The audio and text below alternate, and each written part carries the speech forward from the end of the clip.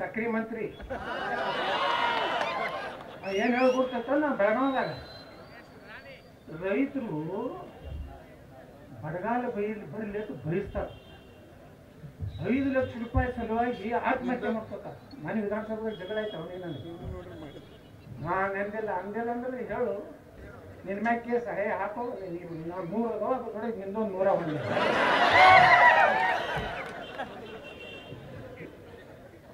ಎಲ್ಲ ಸಕ್ಕರೆ ಕಾರ್ಖಾನೆ ಮುಂದೆ ಒಂದು ಕಾಟ ಮಾಡ್ತೀನಿ ಅಂತ ಹೇಳಿದ್ದ.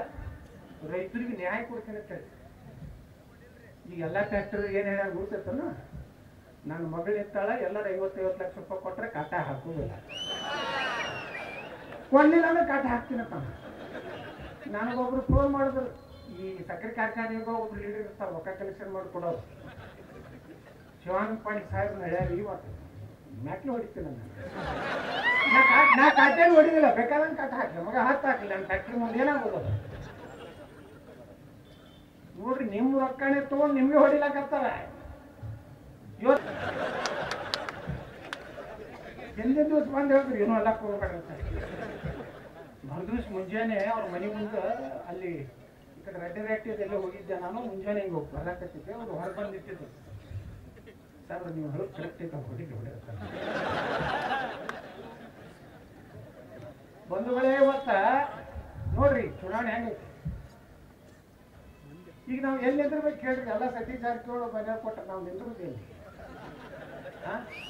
ಉಳ್ಕಿದಾರ ನಾವು ಕುರುಬರು, ಲಿಂಗಾಯತರು, ಎಲ್ಲ ಉಳ್ಕೆ ಸಮಾಜಗಳು ಅದಾವ ಎಲ್ಲ ಇದೆ ಉಪ್ಪಾರು, ಎಲ್ಲ ಜಾತಿಯರು ಎಲ್ಲಂದ್ರು ಎಲ್ಲ ಅವ್ರ ಮನೆ ಮಗಳು ಇರ್ತಾವ ಮಗ ಇರ್ತಾಳೆ ನಿಂತಿರ್ತಾಳೆ ತಮ್ಮ ನಿಂತಿರ್ತಾಳೆ. ನಮ್ದೇನ್ ಕೆಲಸ ಐತಪ್ಪ, ನಾವು ನಡಾತೀವಿ ಇಲ್ಲಿ ಎಲ್ಲ ಅವ್ರ ಮನೆ ಕೊಟ್ಬಿಡೋದು. ಆದ್ಮ್ಯಾಗ ಅಲ್ಲಿಂದ ಏನೈತಿ ಗಂಟೆ ಹೊಡ್ಕೊಂಡ್ರಿ ಎಲ್ಲಾರು. ಸಾಕಾರ ಮನೆ ಮುಂದೆ ಹೋಗಿ ಗಂಟೆ ಹೊಡಿದ್ರು ಹೋಗಿ ಕಾಲು ಮುಗಿದ್ರು ನಾ ಇದ್ರಾಗ ಹೇಳಿದೆ ಯಾವ ಊರಾಗ? ನಮ್ಮ ಎರಡನೇ ಕಡೆ ಊರು ಗೋಕಾಕನ ನೀನು ಹಾ ಕಲ್ವಳೆ ನಿನ್ನ ಮ್ಯಾಗ ಯಾರು ಯಾರಿಗೂ ಕಾಲು ಎದಕ್ ಮುಗಿತು? ರಾಜಕಾರಣಿಗಳು ಕಾಲು ಕೆಲಸಿಲ್ಲ ನರೇಂದ್ರ ಮೋದಿ ಕಾಲು ಮುಗಿಬೇಡತ್ತಾರ ಅಂತ ಶ್ರೇಷ್ಠ ವ್ಯಕ್ತಿ. ನೀವು ಹೋಗಿ ಉದ್ದ ಕುಳಿತು ಸಾವುಕಾರ ಅವರು ಬಿಡ್ರಿ, ಅವ್ರ ಮರಿ ಮೊಮ್ಮಕ್ಳು ತೊಟ್ಲಾಗಿದ್ರು ಅವಕ್ಕೂ ಕಾಲು ಮುಗಿ ಅಷ್ಟು ಸಾವಿರ ಮನೆ ಇಲ್ಲ ನಿಮಗ? ಹೊಲ್ದಾಗ ಕಬ್ಬು ಬೆಳಿತಾರೆ ನಾವು ಹೊಲ್ದಾಗ ಕಬ್ಬು ಬೆಳಿತೀವಿ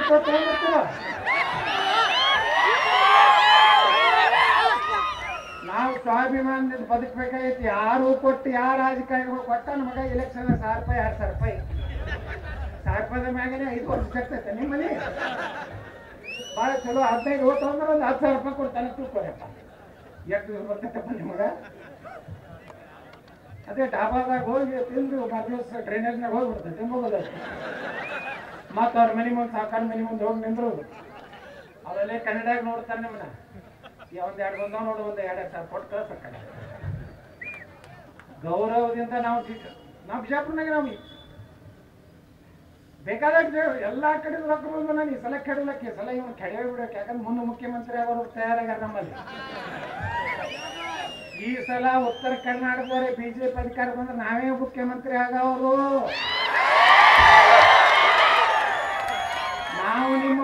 ಕಾಯಿದಿಲ್ಲ ನಿಮಗೆ ಅಪ್ಪಾಜಿ ತಂದು ಕಾಲು ಮುಗಿ ಮಗನ ಅಲ್ಲ